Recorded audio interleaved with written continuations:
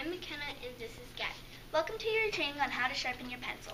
First, here are some reasons why you should do this action correctly. You should do it correctly so when you so you don't disturb everyone while they're working. Also, when you're working, you don't want them to disturb you. Now, we will explain the steps to doing this action correctly. First and most, most important step, wait for a good time to sharpen your pencil. Wait until the speaker is done speaking. Secondly, make sure that your pencil needs to be sharpened and you're not just doing it for pencil in the sharpener the right way, or it can break. Only keep it in for three seconds. Any longer, and it's annoying. Those are the steps to doing it correctly.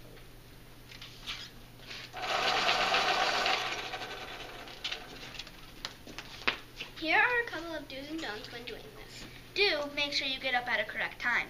Don't sharpen anything besides the pencil. Don't just keep putting it in and out of the sharpener. Ah, also annoying. Don't just say out of the random, can I sharpen my pencil? So that is our video on sharpening your pencil. Now can I sharpen my pencil? I'm not done talking.